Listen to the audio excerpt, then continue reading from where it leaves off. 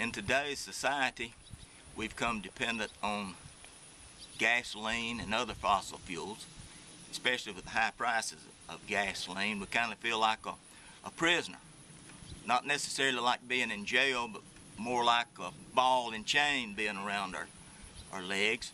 We're not totally free having to buy the, the gasoline. I and others have found the key to release the ball and chain. It's called wood gasification. Wood and wood gasification. A lot cleaner than burning uh, petroleum and it's also more efficient. So, like I said, I and others have found the key to